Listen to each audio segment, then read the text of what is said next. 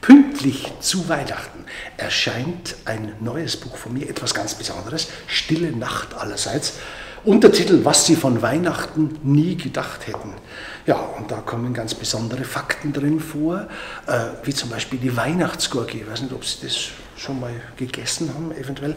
Die Frage, ob es den vierten heiligen Dreikönig gibt. Es gibt Geschichten von steinharten Plätzchen, die als Schallschutz dienen. Und dann natürlich die hässlichen Weihnachtspullis. Wissen Sie, wer den hässlichsten Weihnachtspulli hat?